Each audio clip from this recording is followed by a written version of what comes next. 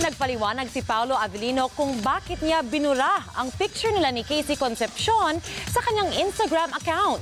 Proud naman at happy si Ensyong D patungkol sa kanyang love life. Nagpapatrol Marie Lozano.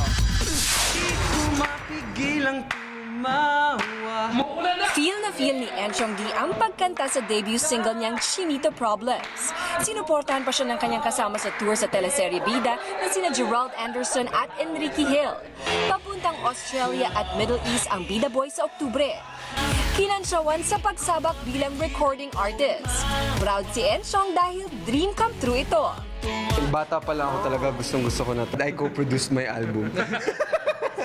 Noong weekend sa Star Magic Ball, ipinakilala niya ang model girlfriend na si Samantha Lewis, na ex ng model host na si Mark Nelson.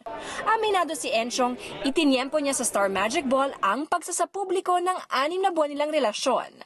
Sabi ko, I want it private, I want it quiet. Parang nobody listens, so okay. O, ito na. Enjoy na kayo.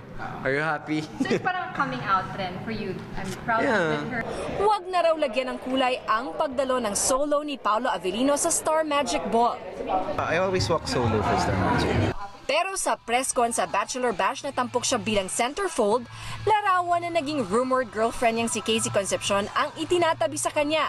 Sundot na tanong ng press, sinasadya ba niyang burahin ang picture nila ni Casey Concepcion sa kanyang Instagram account? Hindi ko tinanggal yung pictures niya. I took all, all the colored pictures and pictures of me uh, na may kasamang mga babae. Maugong na naudlot ang relasyon nila ni Casey.